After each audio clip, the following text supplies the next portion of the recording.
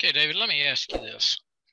I'm look I'm looking at this chart and uh you know from basically the London Open, it was down. Everything's down. It'd been down the day before. Everything was a downtrend.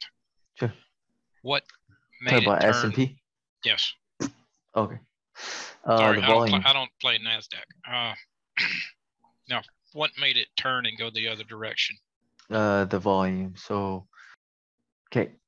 So see where we bounced the overnight low? Right here. Support.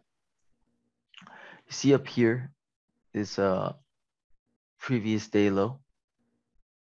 Previous day close. Blue line. That's actually where all the volume is sitting there from from prior day.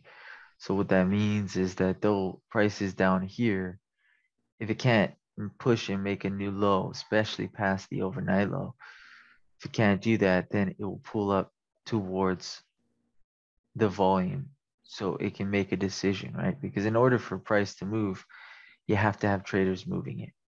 So the price action needs to be around an area where you have the majority of volume. That's how price moves. It moves from volume to volume.